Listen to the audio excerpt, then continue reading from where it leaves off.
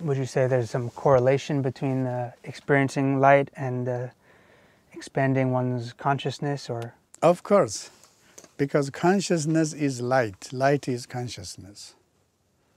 Yeah, because you know, we have the question do you like everybody okay, the interesting thing is everybody knows like they have a consciousness or mind, but nobody knows what it is, right?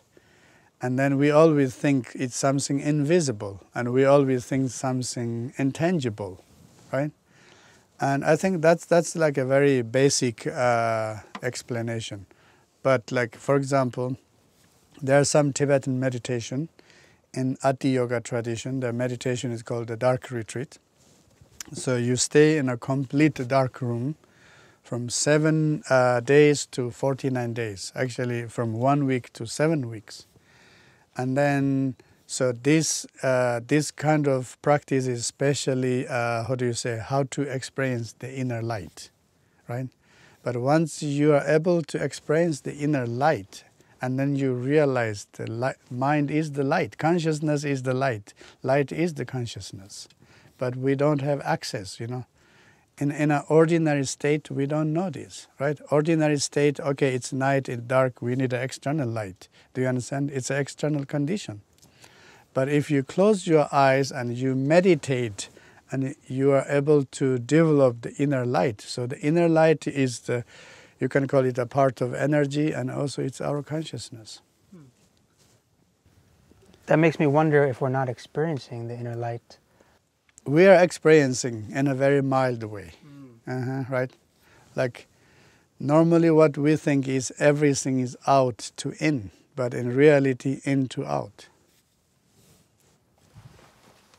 what what does that It's mean? like a dream. Everything is like a projection in, in, in, in to out, right? In the dream, so in the dream, you can see, you can taste, you can touch, you can walk, right? And you can feel. In the dream, you have your five sensorial organs are functioning perfectly. You know, in the dream, you are experiencing like this. You know, you see something, you can touch, and you have all experiences in the dream, right? But that moment, you are so convinced is nothing is coming in to out. Is everything's out to in. It's just like this, right? You're so convinced at that moment. Even I come to your dream, you say, "Hi, this is your dream." You don't believe in me. Only when you wake up, you'll realize you're stupid. I was right. the same way, this world, it is a projection of our mind too.